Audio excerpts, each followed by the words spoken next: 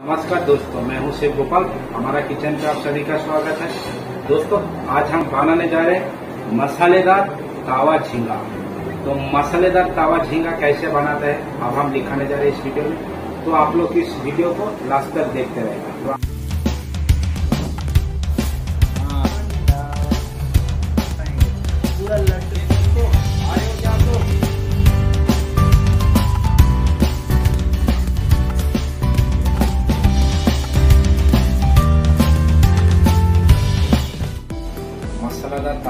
बनाने के लिए सबसे पहले हम लेंगे ये देखिए प्रॉन्स है? जो झींगा है। आपको झींगा को अच्छे से वॉश करके अच्छा से वाटर रिमूव कर लेना है, देख रहे हैं। और झींगा पे ऐसा टील रखना है। देख रहे जैसा मैंने टील रखा है, आपको सिर्फ़ ऐसा ही टील रखना है। तो अब हम इस झींगा को थोड़ा फास्ट मेरीनेशन कर लेते हैं। तो फास्ट मेरिनेशन करने के लिए हम ऐड करेंगे, ये देखिए थोड़ा सा जिंजर गार्लिक का पेस्ट और ऐड करेंगे थोड़ा सा सॉल्ट और अब हम ऐड करेंगे थोड़ा सा इसमें लेमन का जूस और दोस्तों, अब हम इसमें ऐड करेंगे थोड़ा सा अजवाइन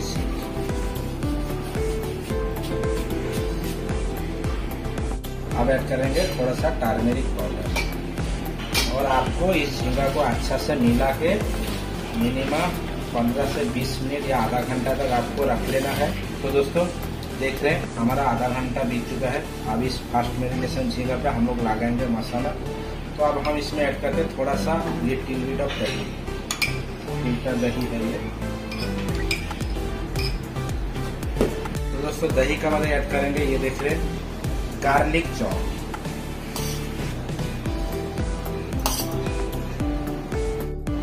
थोड़ा सा सॉल्ट पहले हम लोग डाला हुआ सॉल्ट फास्ट मेरिनेशन करेंगे तो आप ऐड करेंगे थोड़ा सा little bit of salt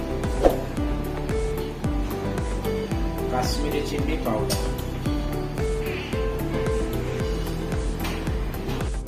roasted जीरा पाउडर ऐड करेंगे वन स्पून चाट मसाला थोड़ा सा होममेड गरम मसाला पाउडर और ऐड करेंगे थोड़ा सा काश्मीरी मेथी पाउडर ऐड करेंगे ओरिएंटल लिप्स चॉप अब हम इसमें ऐड करेंगे थोड़ा सा मस्टर्ड ऑयल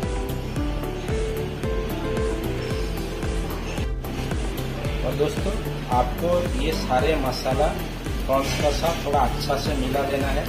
देखिए जैसा मैंने मिला रहा हूँ, आप लोग भी सेम ऐसा मिला। थोड़ा ध्यान से देख रहे हैं हमारा ये फॉर्म रेडी हो चुका है। अब हम इसको डालेंगे तावा। ये मसालादार तावा छिंगा रेडी हो चुका है। मैंने इसको ऑलरेडी अच्छा से मसाला लगा लिया है। अब अब हम इस झींगा को आधा घंटे के लिए चिल्ला या फ्रीजर पे रख देंगे और आधा घंटा बाद इसको अच्छा से तावा में ग्रिल करेंगे। तभी क्या होगा? जो मसाला है, वो फ्रॉन्स का अंदर तक जा सकेगा। और जो फ्रॉन्स होता है, वो बहुत ही खाने के लिए अच्छा होगा देखे आप लोग को झींगा को सेम ऐसे ही स्टिक लेना है और स्टिक में लगा लेना है। अगर आप लोग चाहे तो प्लेन झींगा को तावा में डाल सकते हैं। मेरे पास ये स्टिक है, अब हम इसमें स्टिक में लगा लेते हैं। जैसे मैं लगा रहा हूँ, आप लोग को सेम ऐसा लगाना है। अब हम थोड़ा तवा में ऐड कर लेते हैं ऑयल अच्छा से ग्रिल करते हैं। जैसे मैंने ग्रिल कर रहा हूँ, आप को सेम अच्छा ही ग्रिल करना है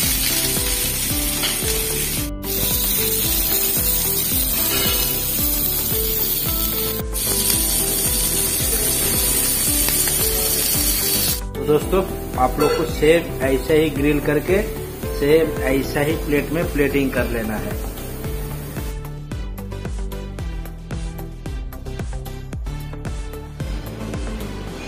और दोस्तों कैसा है हमारा ये तावा झींगा का रेसिपी मैं चाहूँगा आप लोग सेम ऐसा ही रेसिपी फॉलो करके अपना घर में सेम ऐसा ही बढ़िया सा एक तावा झींगा बना सकते हैं। तो मैं हूँ शेख गोपाल। आप लोग इस वीडियो को ज़्यादा से ज़्यादा शेयर करें और हमारे चैनल पे जाए लाइक हो जाए। आपने अगर हमारे चैनल को सब्सक्राइब नहीं किया है तो ज़रूर चैनल को सब्सक्राइब कर लें। चलो बाय मिलते हैं नेक्स्ट वीडियो में। Thank you